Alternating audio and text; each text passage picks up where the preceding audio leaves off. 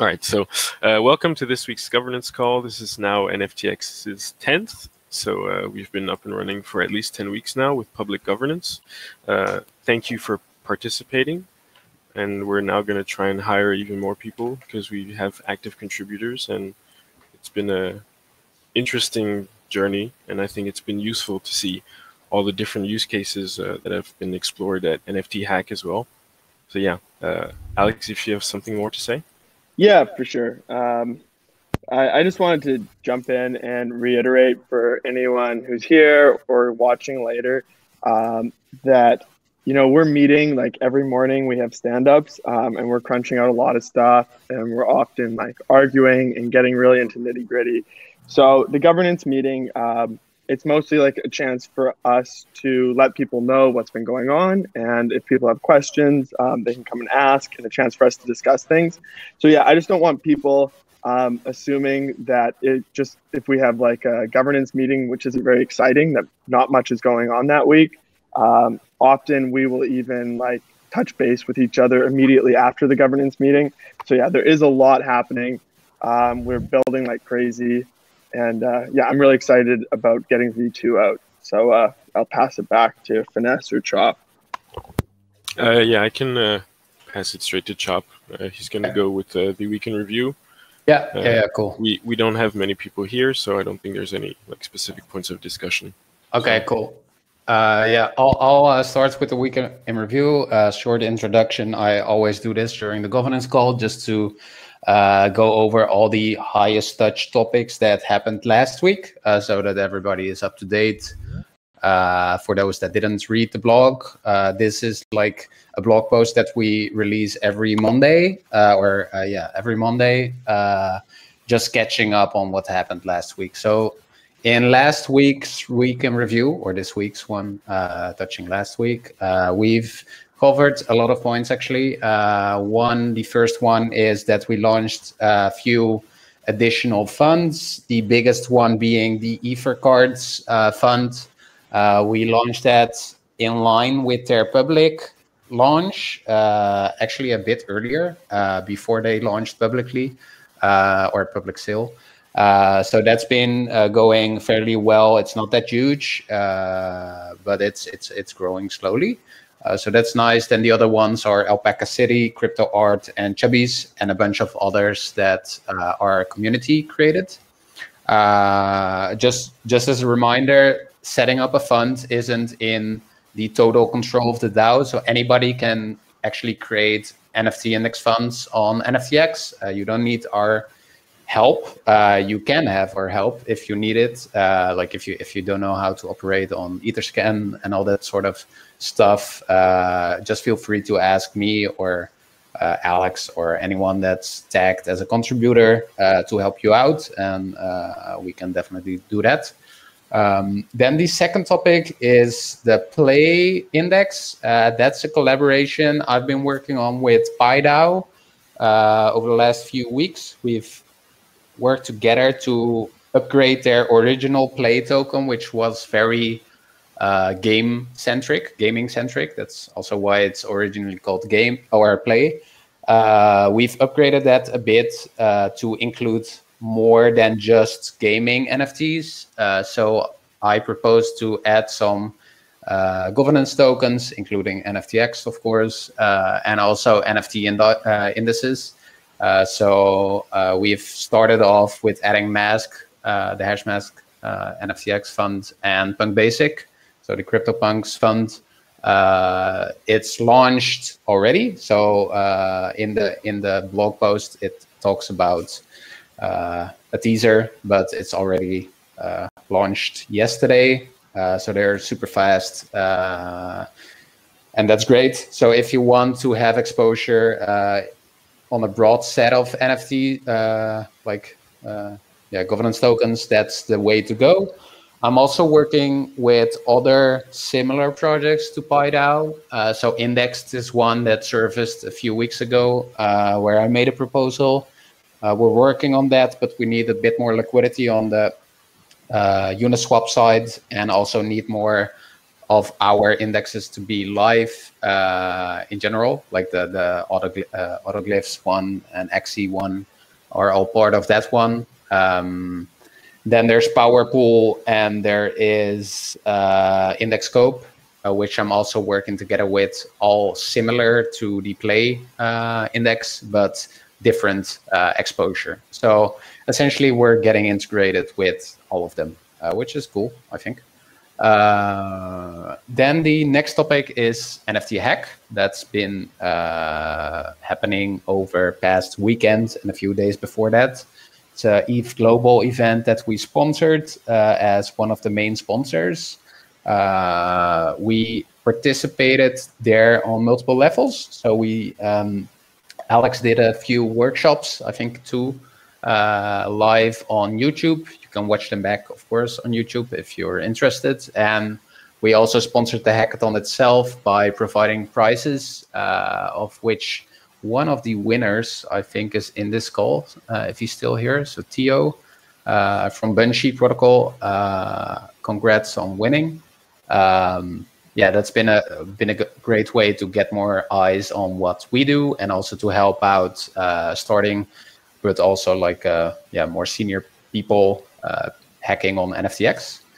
And that's yeah that's the main topics for last week's weekend review. And I think by going through that, I covered most of my points actually. Uh, so I want to talk about play and NFT hack. Uh, I just did.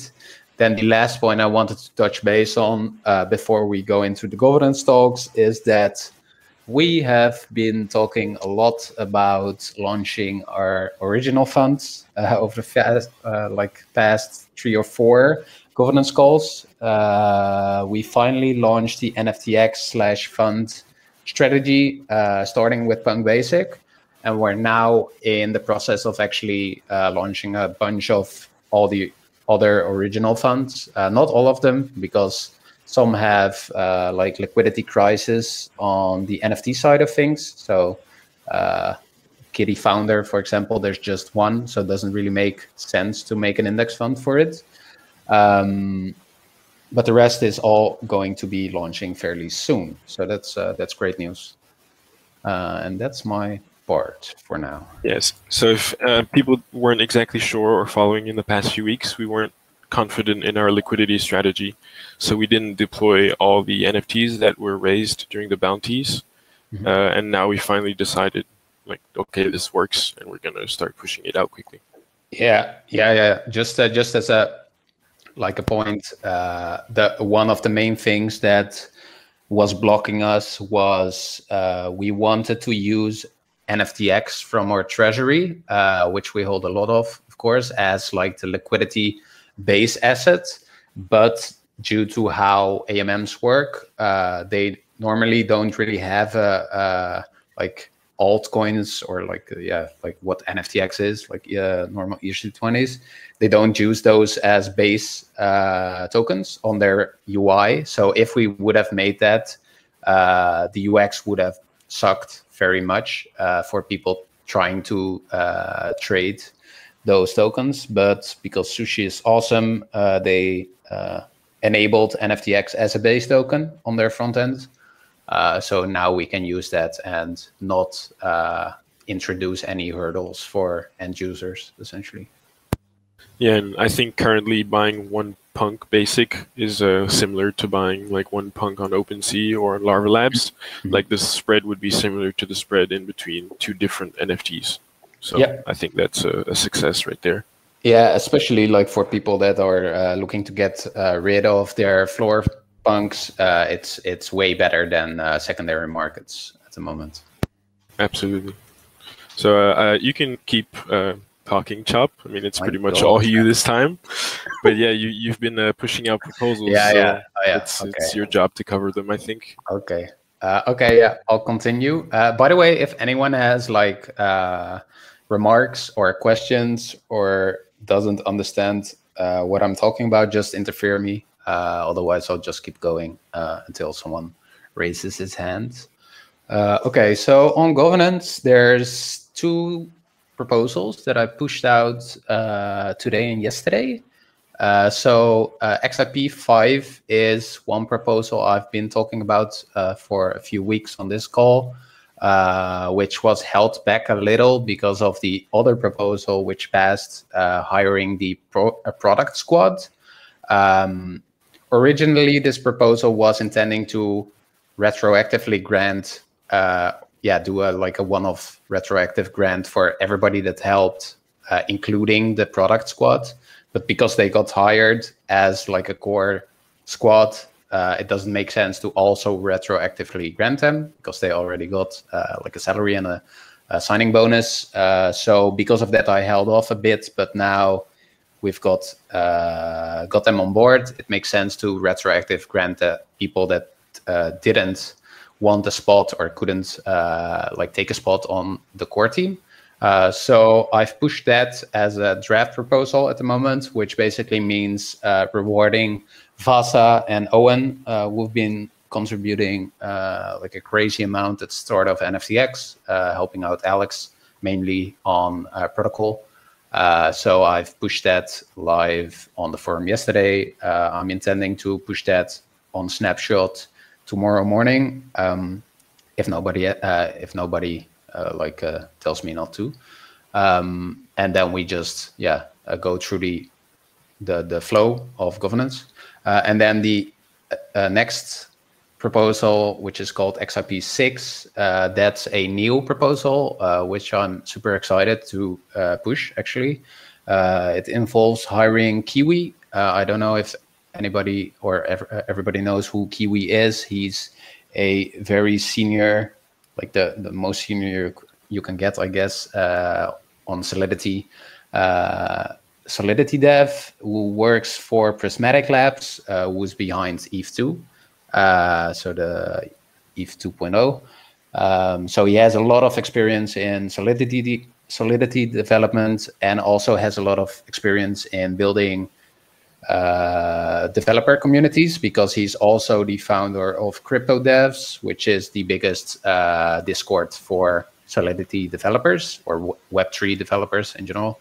Uh, so he's a very good person to assist Alex in everything, uh, especially on V2 and like specking and working that out. Uh, I think he's uh, he's perfect to join NFTX. Uh, yeah, I'll just I'll just jump in there and yeah, just um, echo that that uh, having Kiwi join the last week has been pretty amazing. Um, huge weight off my shoulders, and uh, I'm already learning a lot. And he's uh, making a lot of great suggestions about gas efficiency and structural changes. So, yeah, really, really excited about that. Yeah, so that's uh, I was super excited to push that proposal. Uh, uh, so that's up on the forum too, and I'll just stick to like the governance uh, rules. So it, it it'll be there. Uh, people can push their inputs and their remarks and anything like uh, as a discussion, uh, and then after it passes the time limit, we'll move it to snapshot. so we can hopefully grant him and join. He can join the team. Um, that's the proposals that are up at the moment. Then I think uh, Alex, you had a point also. Yeah. Um, so I just wanted to say, Chop, you've been using yeah. the governance uh, process and format perfectly. So that's really good on you, and the proposals are are also coherent, and like you can definitely tell the value added. So, as I've mentioned to you before, pretty much all of our proposals have passed with like flying colors. So mm -hmm. it's like 100% nearly every time. So I think that's great. Yeah, and, the, the uh, structure is awesome. Like I, I think it's uh it's really nice uh, to to follow this uh, structure you built. Yeah, thank you. Uh, Alex, you had some thoughts on uh, zombie punks and Euler beats as funds. If yeah, you'd like to share. Um, I'm I don't know to be honest. Um, uh, no, it's just um like it, it is. It were some thoughts that I was having, and I posted them, and I still I still think they're generally good thoughts just to, you know, loop everyone in. I was thinking maybe we should use some of our treasury to try and accumulate some more zombies um, and Euler beats, perhaps. But uh, it might not be the right time. Um, it's kind of a different direction from everything else we're focused on. Um, and you know, another thing that I, I, was just realized yesterday that I have to get my head around is um, I'm I'm very much in the mindset of like wanting to use the NFTX treasury to help bootstrap these valuable funds, um, which I think is generally a good strategy. Uh, but it's I think it's um, secondary to the the more important strategy, which is us becoming a platform where other holders want to deposit um, their NFTs. Um, so, you know that that's the real thing we're going for. Is we want everyone to say, "Wow, you know what a great opportunity for me to make money. I'm going to go deposit my NFTs. You know, supply liquidity." Um, and you know it's great if as a DAO we can take part in that as well, and you know supply zombies and possibly Euler beats. So I still think it's a good idea, but um, I don't know. I mean, if other people want to talk about it, basically the idea is to do the same bounty process as was done in December. So we would say like we're willing to pay this amount of NFTX tokens for a punk zombie or for a Euler beat um, and then we would just kind of wait for NFTX to appreciate enough um, that it becomes uh, profitable. Like, but um, a limit. yeah, if people have thoughts on that, um, it's cool to chat about, I guess. Like a limit order, essentially. Yeah, on, uh, basically. Um, yeah. So it's like, yeah, it'd be a limit order on the fund token itself. Yeah. So, um, yeah. Like a OTC limit order that you just leave up. Yeah, Sure, um, and you know that's kind of like that's how we did it with the Rays, and like you know Mhm. some of them filled really quickly, and some of them took longer. Uh, I think you know we have like two zombies basically. Um, we have like 20 autoglyphs, and you know those autoglyphs I think are going to be um, really valuable to us because um, it's so difficult for a protocol now to accumulate a large amount of autoglyphs, um, and we have like 20 of them. Um, I think you know maybe if we were to even get more, um, you know, autoglyphs, Euler beats, CryptoPunks. I really see those as kind of becoming the Schelling point um, within Yeah. like the collectibles, generative art, and um, audio, like respectively. Um, and it's like you know we basically locked down CryptoPunks. We got like over a hundred of the basic ones. We've gotten a couple zombies, which is pretty impressive for a DAO. Um, Mhm. But you know, if we were to manage to get like two or three more, that would you know kind of level us up to the next point. And if we could get like two, three, or four Euler beats, that could keep a door open for us that might be difficult to open six months Yeah. from now. Yeah. Um, so yeah, I think it's a good idea, but at the same time, it's like we're working on so much stuff with V2 that I don't want to, us to get distracted Mhm. or to get sidetracked. Um, but yeah, you know, if there's no pushback over the next week, maybe we can just kind of keep pushing this forward. Um, maybe make some suggestions for like the bounty price. Uh, for example, I was saying like uh, you know the floor on zombies right now is like around 400 ETH. Um, it's like we could basically lowball and say we're willing to pay 200 ether worth of NFTX for a zombie, and we just wait for NFTX to appreciate like 80% or something.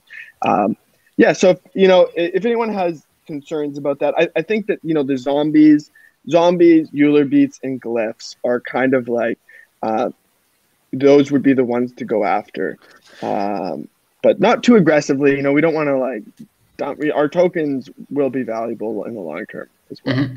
Mhm. Yeah, it's just Yeah. it's good to diversify and lock that down.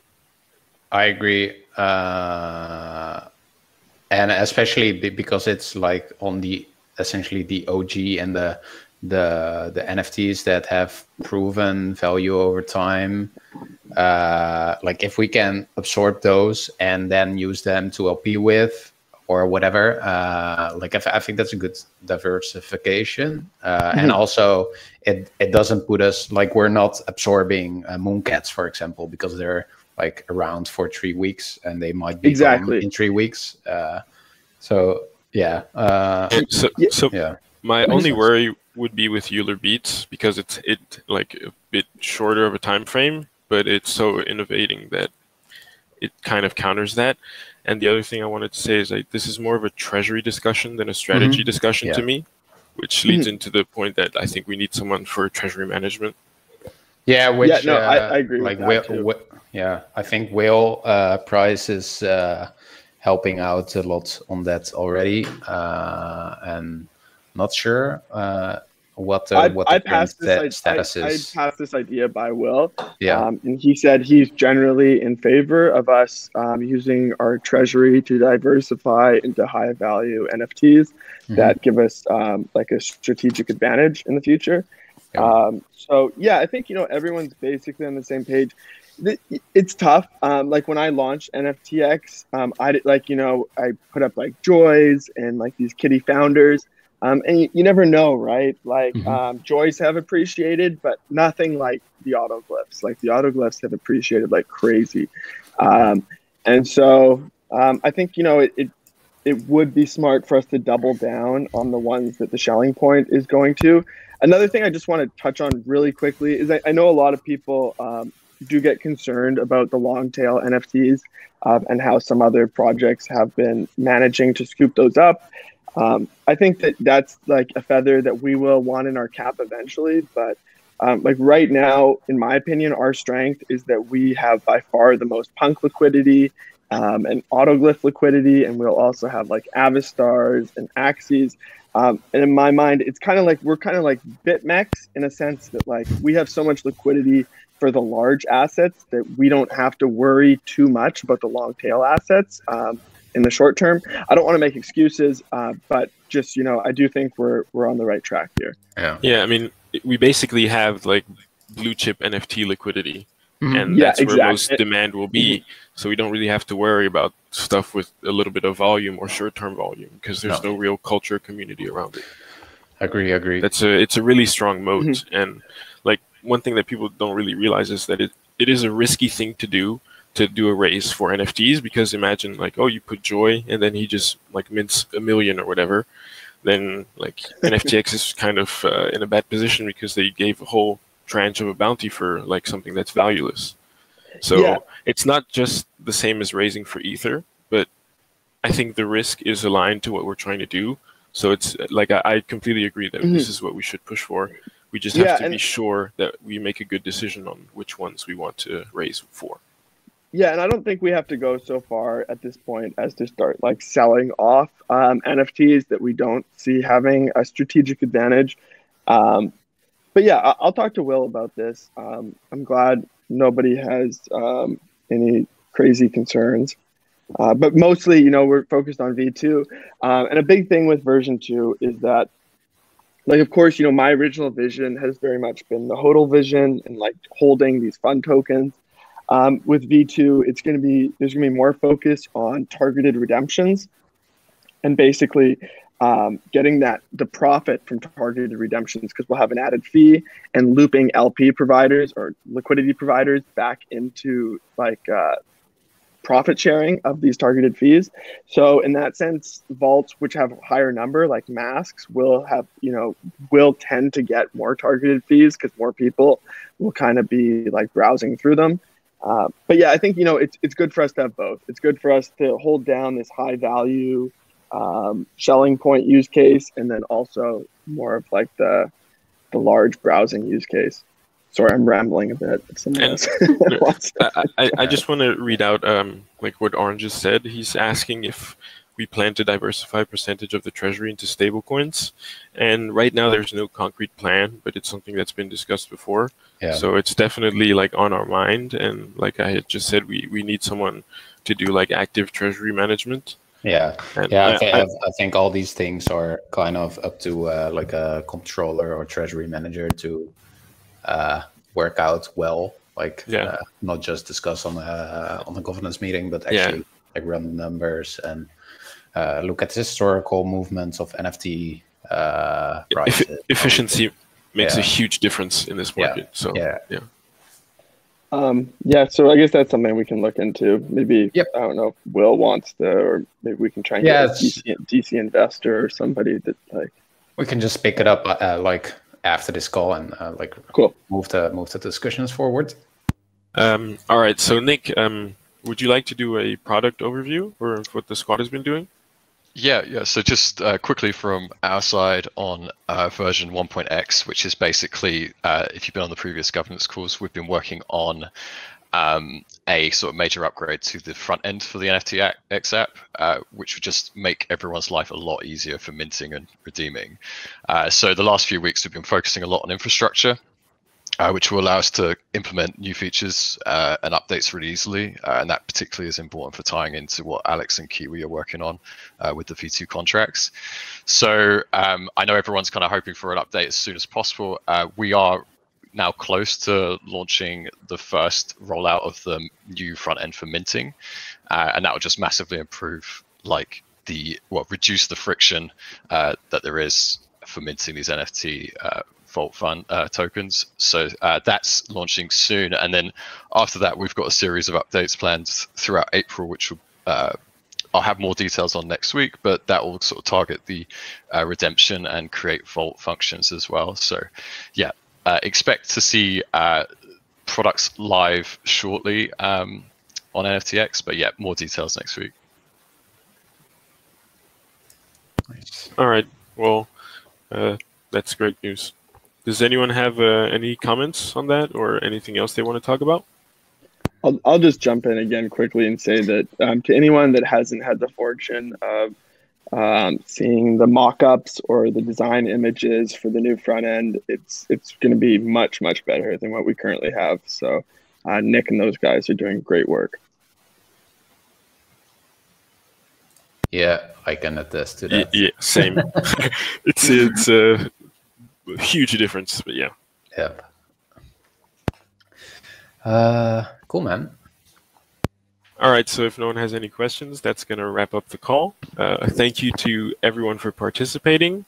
Uh, it's very important uh, that people are informed and like make decisions with all the information that's available to them and that we tr- try to provide. So yeah, thank you again, and uh, see you next week. Thanks. See you guys. Thanks. Thanks, for Vanessa.